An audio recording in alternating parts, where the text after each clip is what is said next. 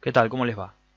Lo que vamos a ver ahora es una herramienta nueva del Excel 2016.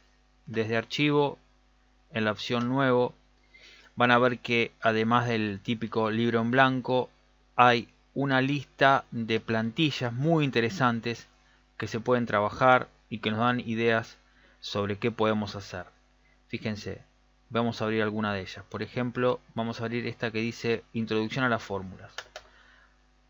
Hacemos doble clic, la va descargando de internet y fíjense ustedes lo interesante, todos los conceptos que nos da, las explicaciones que nos da sobre las diferentes fórmulas que trae el Excel. Hay otras, ¿no? Hay otras, hay otras y también hay un buscador, un buscador de plantillas.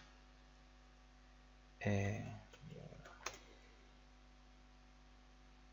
Buscando miles de plantillas y ahí me da asociado a la palabra diagrama un montón de eh, plantillas diversas para el Excel 2016.